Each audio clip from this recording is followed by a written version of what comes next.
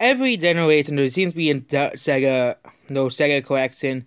It seems that there will be another one this gen next in this in the, for the next gen consoles. Here you go, Sonic Ultimate Mega Collection. This is a leak that is probably gonna be for the PS5 and Xbox Series X, and probably the Switch as well. Wouldn't be surprised. But yeah, this is a leak here. Visa Sega will be releasing some out of game compilation. I don't know, actually don't know anything about this. I'm not inside. I only came across this by Associated Sonic on the Sega Press website. TGS is around the corner. I doubt. I honestly doubt they'll announce something like this now. So yes, there we go. This is the next week here.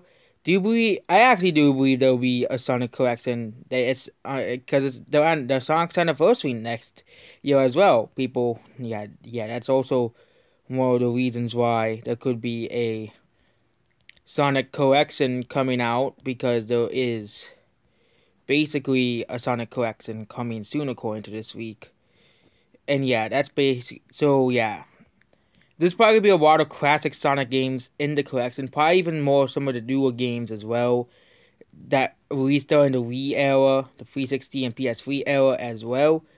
And yeah, that that any yeah, for any fan who any new fan who wants to play the older games I think this is a perfect chance, especially for the anniversary of Sonic the Hedgehog. So, this is, I think that this is probably a real thing.